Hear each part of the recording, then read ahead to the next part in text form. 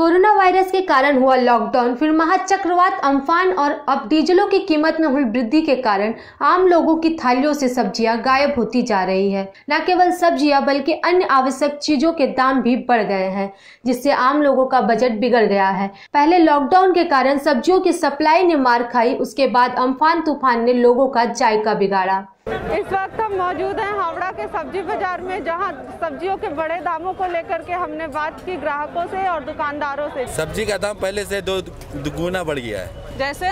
बारिश का मौसम से।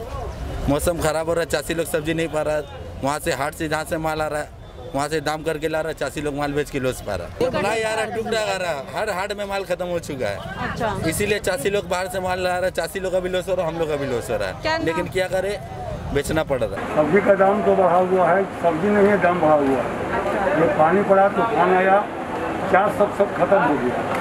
कुछ सब्ज़ी अभी बिहार से आ रहा है इसलिए थोड़ा दाम डाउन है नहीं तो हाई हो जाता है। अभी बहुत इन्फ्लेटेड हुआ है लॉकडाउन से पहले के रेट में और अब में बहुत अंतर है। कितना तो, बजट कितना बिगड़ा?